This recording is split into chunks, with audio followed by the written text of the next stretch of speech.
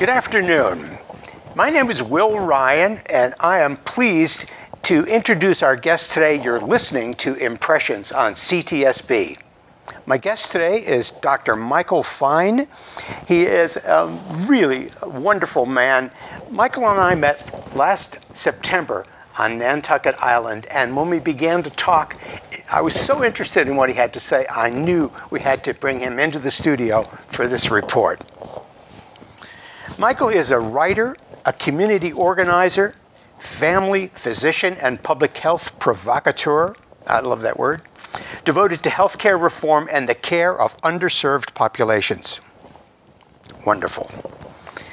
His titles, current titles, he's the Senior Clinical and Population Health Officer for Blackstone Valley Community Healthcare in Pawtucket, Rhode Island. He's also the Chief Health Strategist for the city of Central Falls, a large, compact city in Rhode Island. Some years back, I'm going to list this one because my, my uh, alma mater is Brown University, where he was on the faculty. He was the clinical assistant professor of family medicine for the Warren Alpert School of Medicine of Brown University. Michael's had many jobs and publications, and I'd like to focus, oh, since 1979, I might add. I would like to start, and, and we'll talk today about your book. It's called Healthcare Revolt How to Organize, Build a Healthcare System, and resuscitate democracy, all at the same time.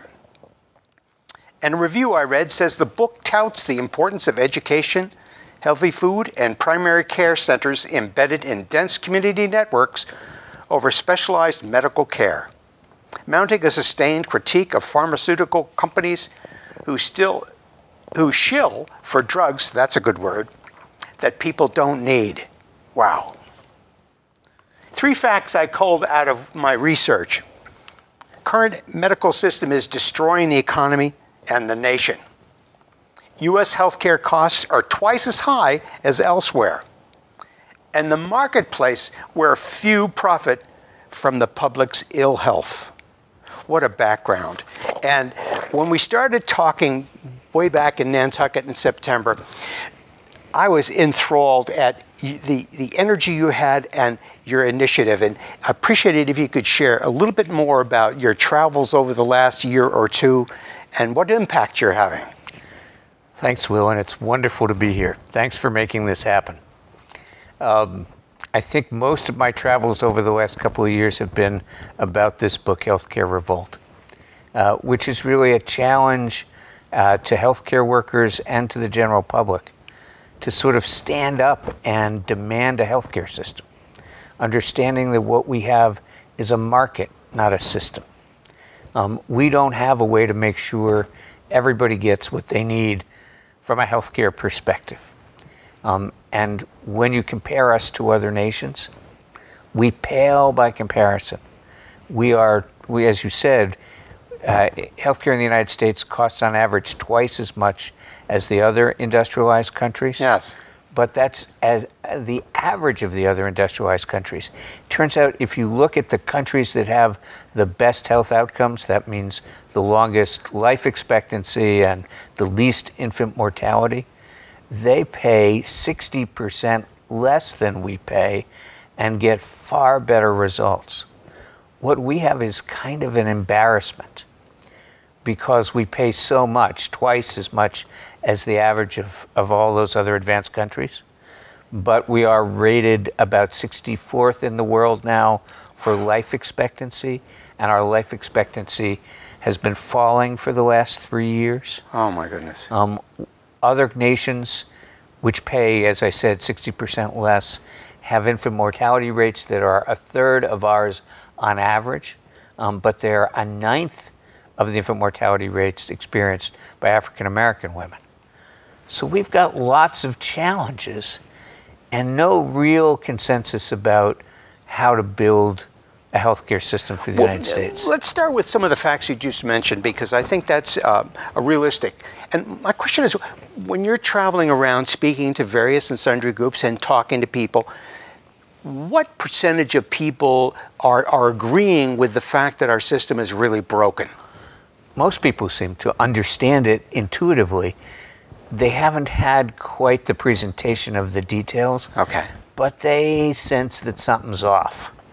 You know, they all know that it's cost that it costs too much, and they all know that you know people don't all have access the kind of ac- access to care that they need in their own communities in the way they need it. But I don't think you know anybody's been able to organize the movement that we're going to need to build a healthcare system, and that's why people are kind of dazed because they've been kind of slapped across the face by what's wrong, um, but nobody has been able to help them really get a feel for what's right. Well, here we are in the political season where, of course, the Democrats are talking about universal health care and Medicare for all, et cetera, et cetera. What, how do you view all that? Well, the, you know, there's been 40 years of work to develop this universal health care, Medicare for all, single payer approach. And paying for health care is clearly important. But I think even in that approach, and the folks who've done that have done yeoman's work getting the public's attention to the payment process. But what's been left out is what the system should look like. You know, we, we see, we can argue back and forth about how to pay for it, and maybe you can pass a bill in Washington or in Boston to change how you pay for it. But what we haven't done is talk about what every person needs and every community needs. And that's what other nations have done far better than us. Uh, uh, would you say the medical community is in agreement with the fact that we're broken? I think there's wide agreement that there's a problem here. Um, you know, some people say broken. I try to get people to understand that we just don't have a healthcare system at all. What we have is a market, and the market is doing what markets are supposed to do, which is sell stuff and make profit. So we're really great, we're really successful at making profit, but I don't think that's what most of my colleagues want from the work that they signed up to do. Yeah. Most of my colleagues wanted to be in communities and to take care of communities. They didn't want to fill out forms and you know, sort of jump when their corporate bosses said jump. They didn't want to sit in front of these electronic medical record systems that have them paying attention to the computer and not to the patient. Almost all my colleagues want to be with and listen to the people who are their patients. Yeah. And they have been vastly alienated by this this behemoth that seems to have a life of its own I'm, for the, over the past few years, Michael, I've been thinking about the system, the market, as you describe it, and the role of insurance keeps coming up in my mind. And from what I can see, the insurance companies don't lend anything to the care of human beings.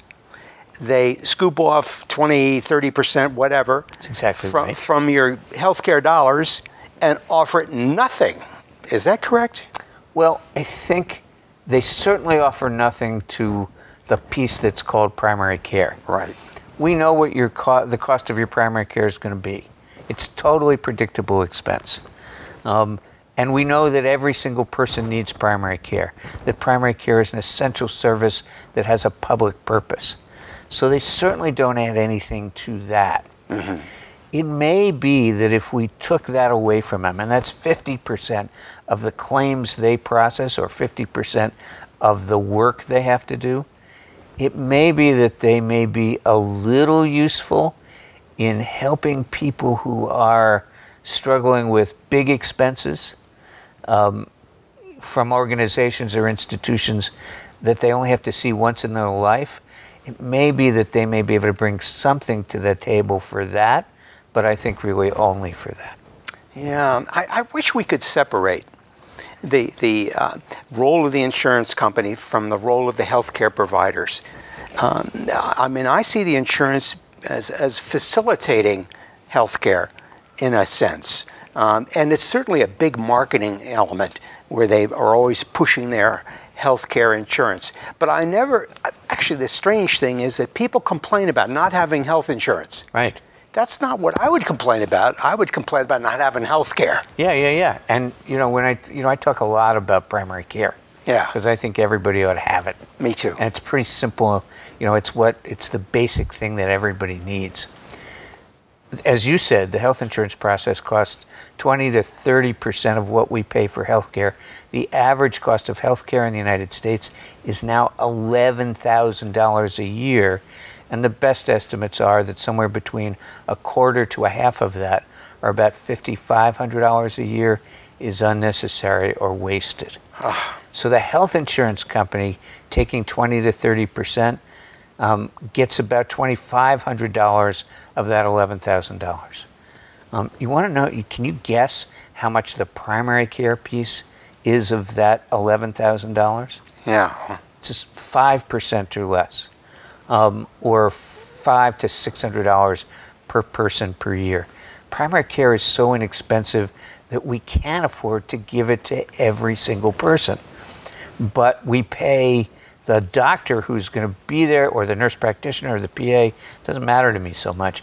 We pay the primary care person who is supposed to be available to you 24 hours a day, at least by phone, who should be seeing you the same day you're sick, who does your physical exams, who refills your prescriptions, who listens to you and knows you and your community and fills out the forms that you need to fill out as, as awful as those forms sometimes are.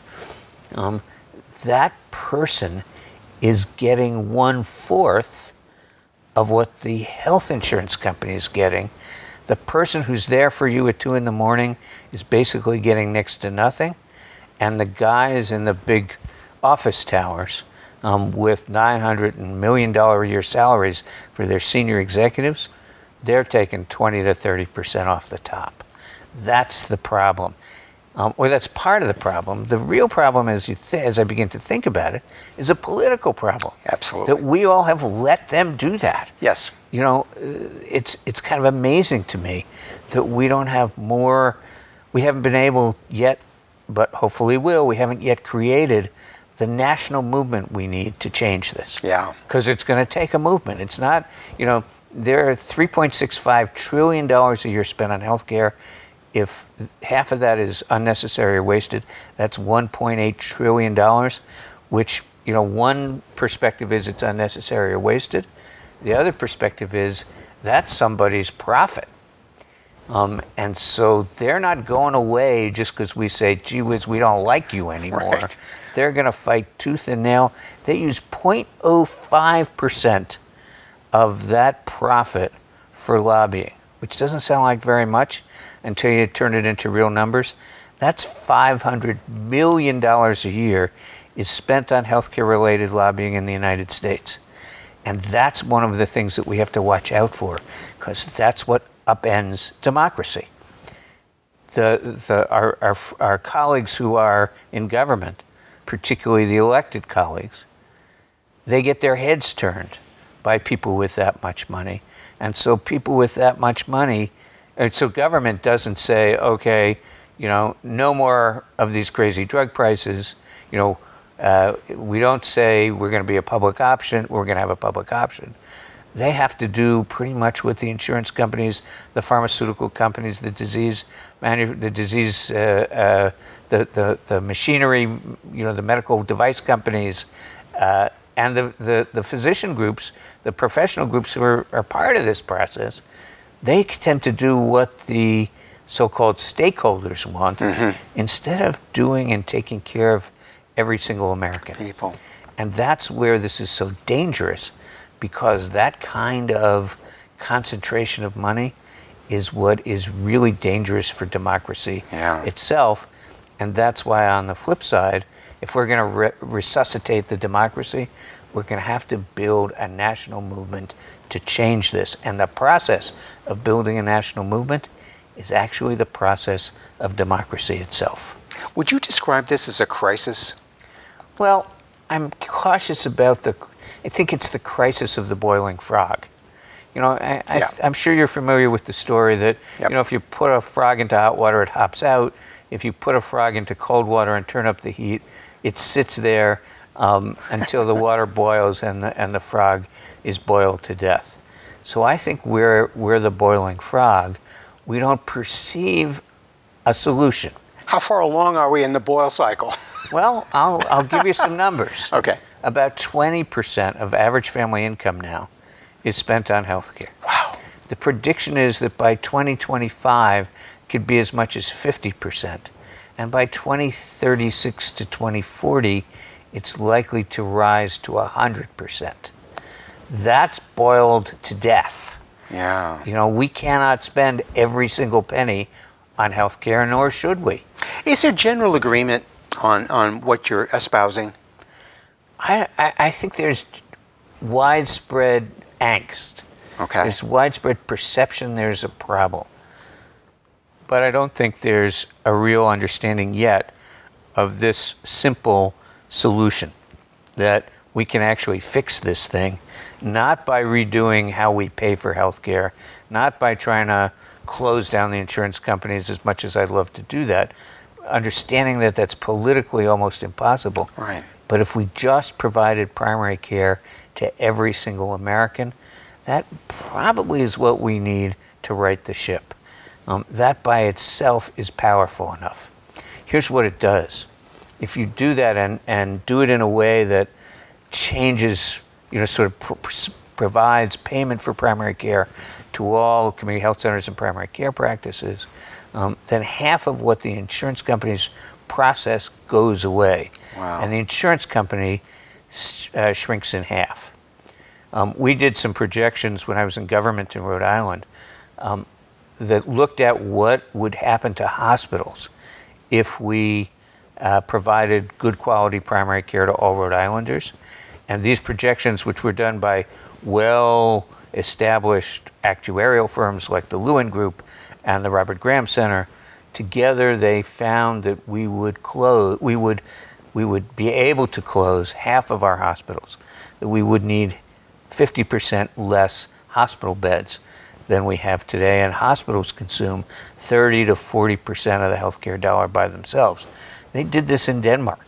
When they started providing primary care to everyone in Denmark, they were able to close half their hospitals. Wow. Um, and so that's, and, and you know, because primary care is only 5% of the total healthcare spend, nobody actually cares about it very much. And you don't need a hospital for primary care, do you? No, you don't need a hospital. Doctor's office? This is a this is a doctor's office or a community health center.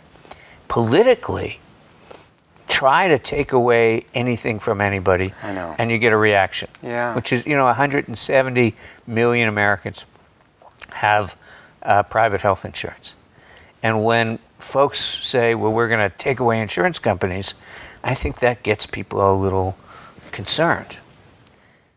But when you give somebody something they haven't had before, that's politically a good thing. It's the, go- the old chicken in every pot theory. Yeah. Now, it turns out only 30 to 40% of Americans have and use primary care now. So, if we were really able to, and, and we are able to, if we figured out how to get it done, put one primary care center uh, basically on every block um, or certainly in every community, you know, uh, a place that's open from 8 o'clock in the morning till 8 at night, sees you when you're sick, is open on weekends, you know, does medical care, dental care, mental behavioral health care, um, lab, x ray, physical therapy, all in one place. Um, think about what, how, how communities would react when it had this new opportunity than, that that community hadn't had before Yeah. that's the kind of thing that, that is, I think, politically uh, doable. Are you familiar with volunteers in medicine? I'm not. There's a, um, an organization here in Great Barrington, by the way, the only one in the whole state, that offers 100% free medical, dental, uh, eye care, whatever, to anybody that walks in the door. Fantastic. Yeah. That's the kind of model. I mean, that's how we're going to fix this. When communities themselves do this for themselves. Right. And what you know, and and we build it from the ground up. You know, we've actually got uh, a situation in Scituate, Rhode Island, where we opened the first uh, neighborhood health station in the United States, and we guarantee every single resident, 10,000 people in Scituate, Rhode Island, the most Republican town in the state, Really? um, we guarantee every single person medical care and dental care, and have been doing that for 20 years. Great. Making us the first place in the United States that's not uh, a Native American reservation or a prison where everybody's guaranteed health care.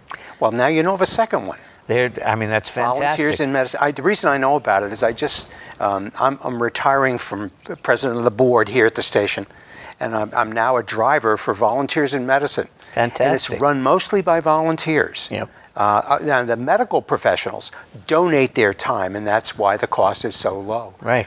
But um, it's a model.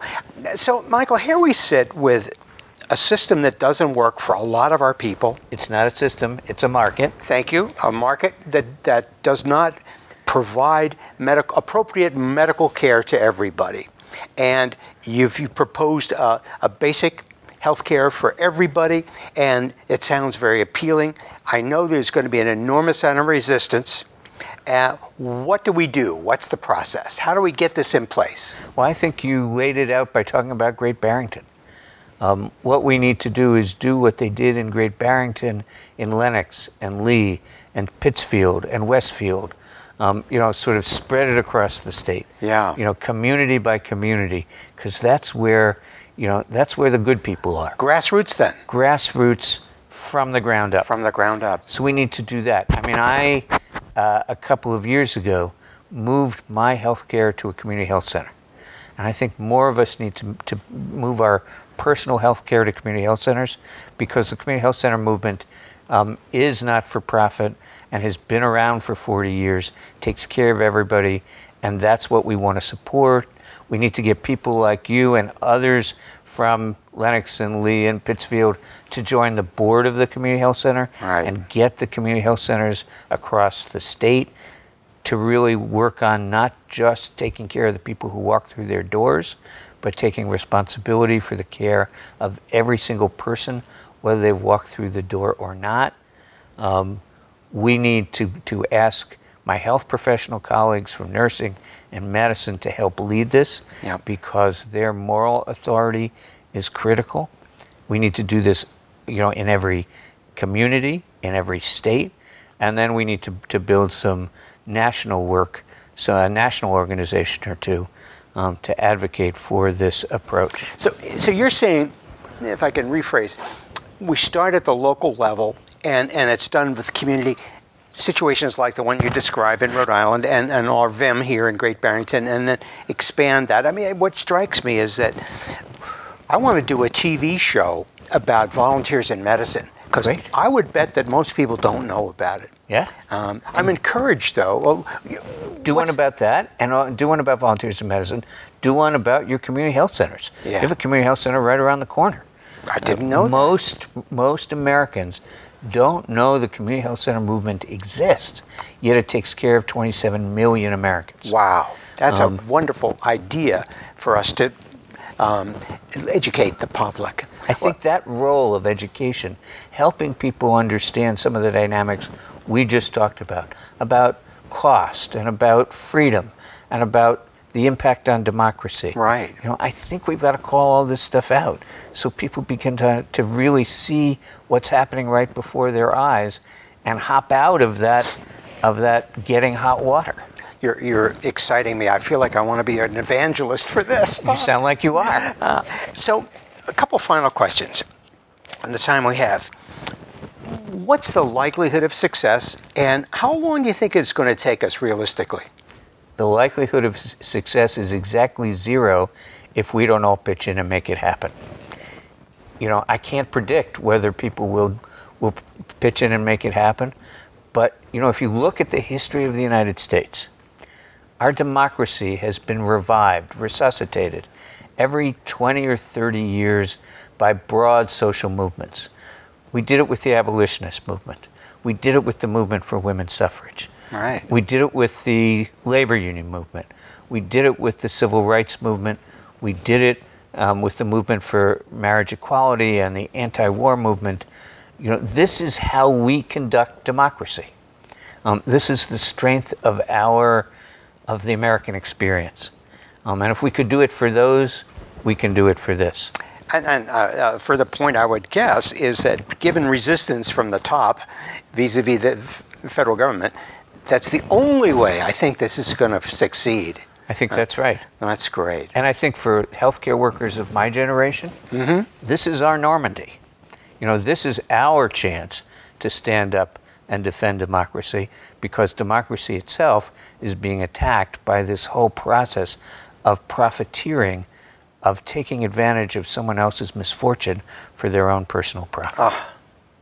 It's, it's heartbreaking, isn't it? Um, It's heartbreaking if we let it happen. I agree. Um, and it's, it's, it will revive us all if we get together and stop it. One final thought, and, and, and from my background of how things have changed. When I started to work for IBM way back in the early 60s, I, I had the Blue Crosses uh, uh, in New England as a client customer, right? And I was told that they were not insurance. What? They were prepaid medical expense. The theory being that you put a little away, put a little away in, in an account with Blue Cross, and when you get sick, you that changed somewhere along the way and became really uh, classical insurance, didn't it? Yeah, it did. And I wondered why and how. It's probably buried in the annals of history. I think it is it is buried like that. I mean, when you started at IBM, that also the Blue Crosses of the world didn't cover primary care. Um, That's true. You bought your own primary care. You'd worked out your own relationship with your own family physician. Many family physicians, you know, I mean, there were some family physicians that were, you know, on the take. You know, were interested in profit, but most family physicians were in their communities and would, you know, they would take chickens for people who couldn't afford medical care. You know, they would make it work in their own community. When insurance started covering uh, primary care, that's when the primary care enterprise went into the tank. Um, and that's what we can get back when we begin to understand that primary care um, is a essential service um, with a public purpose and not for anybody's private profit. I love it. Michael, thank you so much. You've given me so much food for thought and, and material by which to espouse a better process for, for our society here in the Berkshires. And I thank you very kindly for being here with us today. Thank you for taking the time and doing this. Great Thank to you. see you again. Thank you, Michael. Thanks. We'll see you in Nantucket in September. Sounds great. Thanks. Thank you.